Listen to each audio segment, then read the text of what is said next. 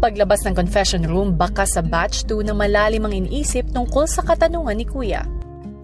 Coming here to the Philippines, syempre, I want to work here and it's one of my goals to have a place to stay here. So now that the opportunity has arose, if I can fight and possibly have the chance to get this condo, that would change my life here in the Philippines.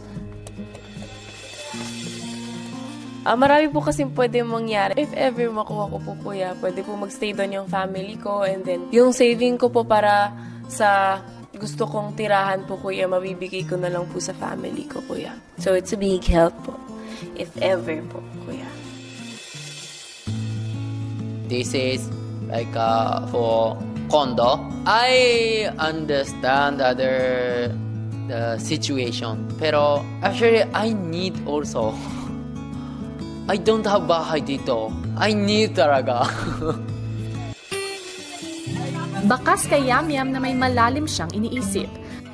May mga pangarap akong sobrang napakalaki. Sorry po talaga kuya. Pinapakinggan ko lang po talaga yung puso ko kuya.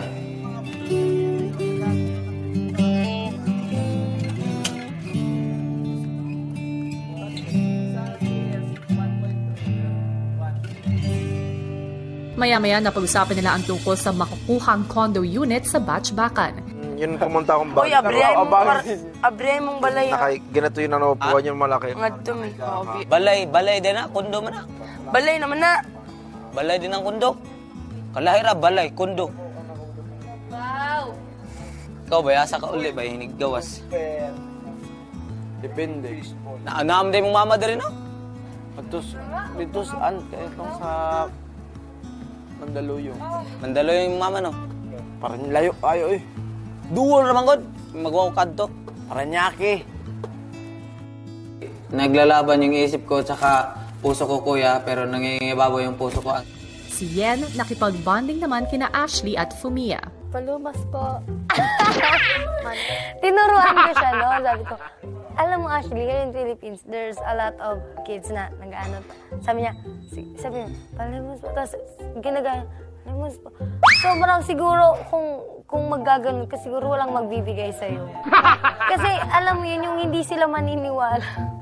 You try that. After this, you try the in outside world. And then? Listen, palimos po. You get the money. Talaga. Taong bayan loves you, so you should like this. Palimos po. And one day, you can get 2 million. Talaga. Right? Yay. And you gave me, you gave me 1 million. And I promise I will live to the Bicol and I will not. Uh, if I got condo, I can invite my family dito sa Pinas finally. 'Di ba? My father, brothers, they have been here, 'di ba, dito sa bahay ni Kuya. Pero my mother and sister have never been to the Philippines. Yeah, that's why like if I have my place, I can invite them.